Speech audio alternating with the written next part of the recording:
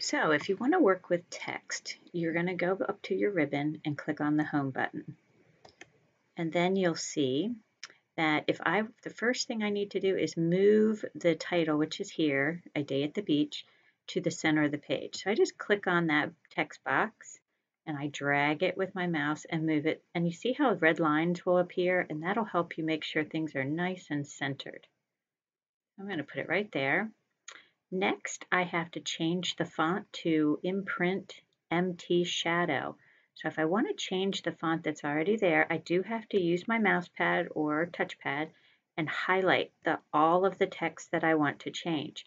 And you see how when I have it highlighted, a little box appears. In this box, this is where I can pick fonts from. I can also go up here where the font box is at the top but I can go here and if I want to get this one back when I'm down here just right click and the box comes back. So I want to click here and find that font and I can scroll down to look for imprint which is way down on the list. There it is and then click it. Now I have that font. Next, I need to change the size to 60. So I still have my box here. If not, I could use the box up in the font ribbon. But click here and I'm going to scroll down and find 60. There it is.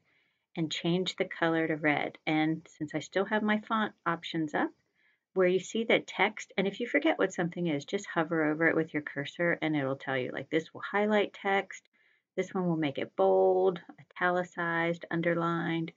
This will help center things in a text box, not on the page, these um, justifications there and I can change the color here, font color. And to pick a different color, you can just click that little arrow.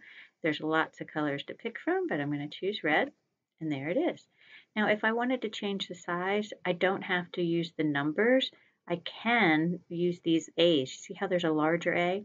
This one will increase the size, and the smaller A with the down arrow will make the size go smaller.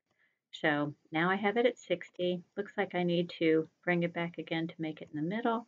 And there you have it.